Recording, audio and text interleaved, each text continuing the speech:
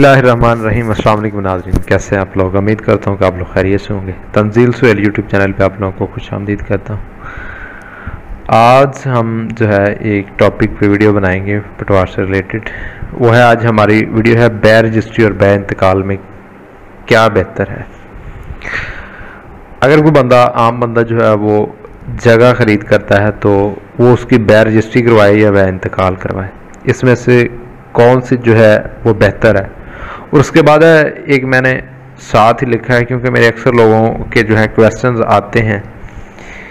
तो उस हवाले से जो लोग अक्सर गलती करते हैं रजिस्ट्री करवाने के बाद तो वो भी मैं आप लोगों को बताऊँगा कि वो क्या गलती करते हैं। तो सबसे पहले ये बात है कि बै रजिस्ट्री और बै इंतकाल में क्या फ़र्क है, ठीक है?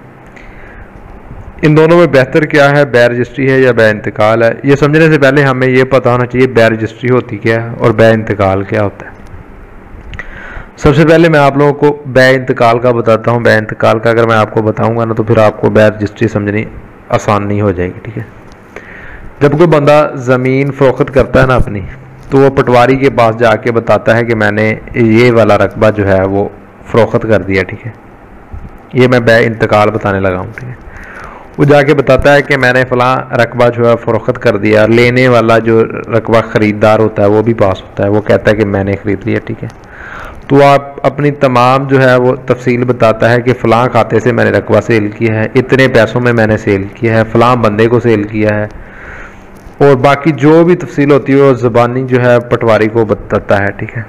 पटवारी उसकी तमाम तफसील जो है रिक्वायर होती हैं, वो पूछ लेता है और इंतकाल दर्ज कर देता है उसी खाते से, जिस खाते से उसने कहा हो, ठीक है? उसको हम बै ज़बानी इंतकाल कहते हैं।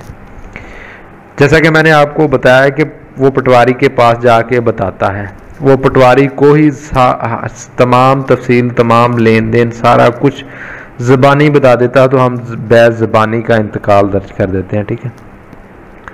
इंतकाल दर्ज कर देते हैं। इंतकाल दर्ज करने के बाद जो है गर्दावर उसकी पड़ताल करता है। गर्दावर उसकी पड़ताल करने के बाद जो है रेवन्यू अफसर जो है होता है, वो तहसीलदार मतलब के बयान लेता है।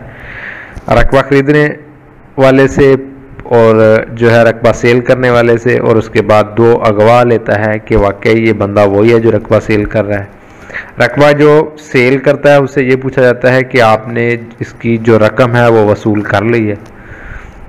अगर वो इस चीज़ को जो है हाँ में जवाब देता है कि मैंने रकम वसूल कर ली है और उसके बाद फिर जिस, जिसने जायदाद ख़रीदी हो, उससे पूछा जाता है कि आपने इसका कब्ज़ा अपने हवाले कर लिया है। जब वो कहता है कब्ज़ा अपने हवाले कर लिया, उसके बाद जो है अगवा, जो अगवा होते हैं, उनसे पूछा जाता है कि क्या आप इन बंदों की तस्दीक करते हैं? जो बंदा सेल कर रहा है, ये वही बंदा है। तो अगवा भी तस्दीक कर देते हैं, उसके बाद जो इंतकाल मंजूर हो जाता है फीसें जमा करवाने के बाद, ठीक है? तो अब दूसरी बात आती है रजिस्ट्री, ठीक है? रजिस्ट्री क्या चीज़ रजिस्ट्री ये चीज़ है कि जब बै रजिस्ट्री से मुराद ये है कि जब बंदा लेन देन मतलब कि एक बंदा अपनी जायदाद सेल करता है ना तो फिर उसको एक स्टाम्प पे लिख के जो है ना, वो तमाम तहरीरी तौर पे कवायफ जो है बाया और मुश्तरी दर्ज किए जाते हैं, ठीक है? बाया और मुश्तरी के तमाम कवायफ जो हैं वो तहरीरी तौर पे दर्ज किए जाते हैं। कि रकबा किस खाते से सेल किया है, कितनी रकम में सेल किया है, रकबा की रकम वसूल कर ली है, और उसके अलावा बाकी तमाम तफसील जो भी होती है वो पटवारी को रिक्वायर वो तमाम जो है वो लिख के दे दी जाती है, ठीक है? लिख के देने के बाद रजिस्ट्री ब्रांच में सब रजिस्ट्रार जो होता है, वो बयान लेता है। बयान लेने के बाद जो है रजिस्ट्री दर्ज कर देता है। रजिस्ट्री दर्ज करने के बाद फिर जो है बंदा जो जायदाद ख़रीद रहा है, वो रजिस्ट्री लेता है, जिसमें तमाम तफसील लिखी होती है। वो लेके जाता है पटवारी के पास। पटवारी के पास लेके जाके फिर वो इंतकाल दर्ज करवाता है, ठीक है? बात जो है बताने का मकसद ये है कि अगर आपने रजिस्ट्री कराई है तो बाद में फिर भी आपको इंतकाल कराना ही पड़ेगा, ठीक है? तो मकसद सिर्फ़ ये है कि रजिस्ट्री करवाने का मतलब ये होता है कि जो तमाम तफसील जो है, वो तहरीरी तौर पे लिख दी जाती हैं, जिस पे बयान भी हो जाते हैं, बाद में जो बंदा जो है, वो इनकार नहीं कर सकता क्योंकि उसने तहरीरी तौर पे तमाम तफसील दे दी दे दी होती हैं, ठीक है? तो जो बंदा लेने वाला है, रकबा ख़रीदने वाला, जिसको हम मुश्तरी कहते हैं, ठीक है? उसके पास ये एक सबूत जो है रजिस्ट्री होती है कि इसने मुझसे रकबा सेल किया है और ये उसका तहरीरी सबूत है। और जो है बैज़बानी इंतकाल उसमें ये वाला तहरीरी सबूत उसके पास नहीं होता। एक तो ये इन दोनों में फ़र्क है और उसके अलावा ये है कि शहरी इलाके जो है ना, वहाँ पे जो है बैज़बानी का इंतकाल नहीं होता, वहाँ पर रजिस्ट्री ही करवानी पड़ती है, ठीक है? तो रजिस्ट्री करवाने करवाने का मकसद ही ये है कि अगर उस, वहाँ पे कोई केस वगैरह, आपको डर हो किसी केस का तो आपको बेहतर है कि आप रजिस्ट्री करवा लें, ठीक है?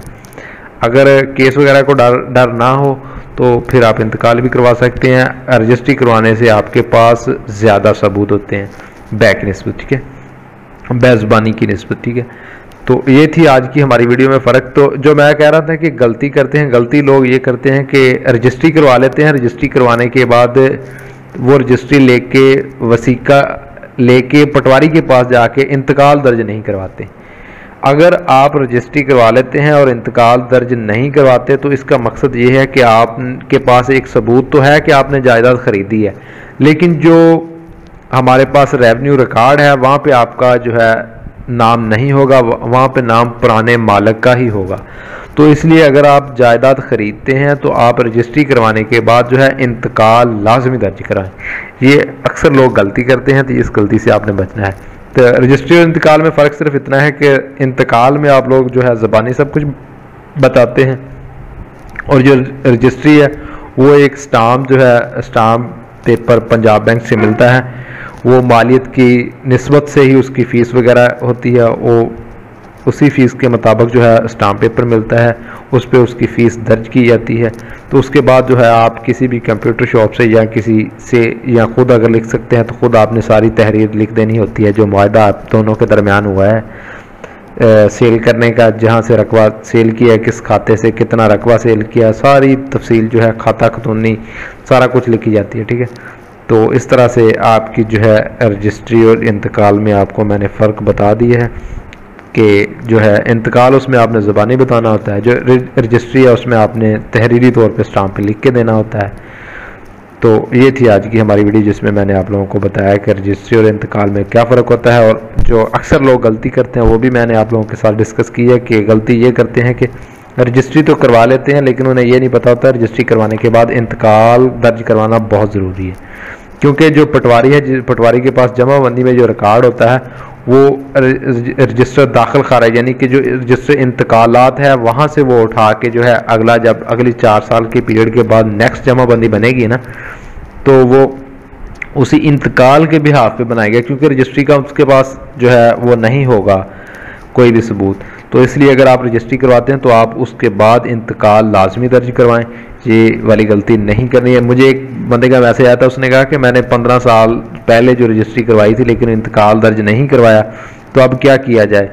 तो इस तरह के मैसेजेस आते रहते हैं। मुझे काफ़ी सारे लोगों ने पूछा तो मैंने सोचा कि मैं आज जो है रजिस्ट्री और इंतकाल पे एक वीडियो बना देता हूँ। साथ ये जो अक्सर लोग गलती करते हैं, ये भी हाईलाइट कर देता हूँ, ताकि आप लोगों को इस चीज़ का फ़ायदा हो सके। ठीक है? तो चलें। बहुत शुक्रिया। आप तब्दील से यूट्यूब चैनल को सब्सक्राइब कर दें और बेल आइकन पर क्लिक कर दें ताकि आपको मज़ीद अच्छी अच्छी वीडियोस देखने को मिलती रहें। ओके, अल्लाह हाफिज़, अपना बहुत सारा ख्याल रखिएगा। क्योंकि ज़िंदगी में इंसान को वही कुछ